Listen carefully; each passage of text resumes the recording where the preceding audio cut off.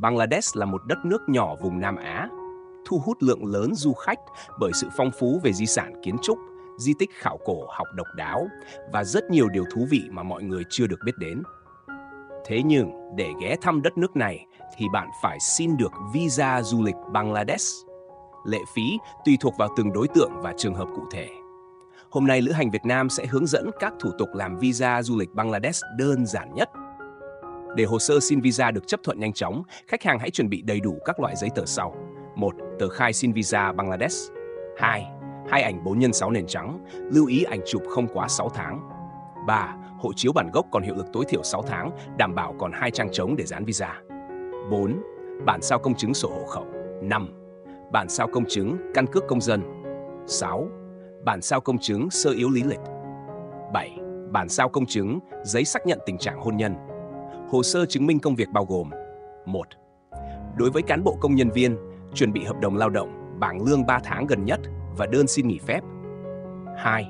Đối với chủ doanh nghiệp, chuẩn bị giấy phép đăng ký kinh doanh, hóa đơn nộp thuế 3 tháng gần nhất. 3.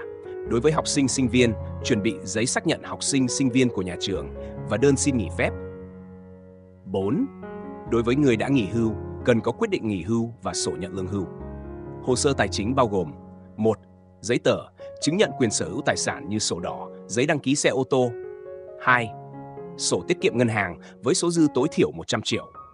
3. Bản sao các loại thẻ thanh toán quốc tế. Ngoài ra, thông tin về chuyến đi cũng rất quan trọng. Bạn cần chuẩn bị đầy đủ thông tin về lịch trình chuyến đi, bảo hiểm du lịch, xác nhận đặt khách sạn và vé máy bay khứ hồi. Lưu ý, hồ sơ xin visa cần dịch thuật sang tiếng Anh. Tùy thuộc vào từng trường hợp cụ thể, đại sứ quán sẽ yêu cầu nộp thêm các giấy tờ phù hợp. Với dịch vụ visa chuyên nghiệp, nhanh chóng và hiệu quả của Lữ hành Việt Nam, bạn hoàn toàn có thể yên tâm về mọi thủ tục pháp lý để chuẩn bị cho chuyến đi của mình. Mọi thắc mắc về dịch vụ xin vui lòng liên hệ với chúng tôi để được tư vấn và giải đáp chi tiết nhất.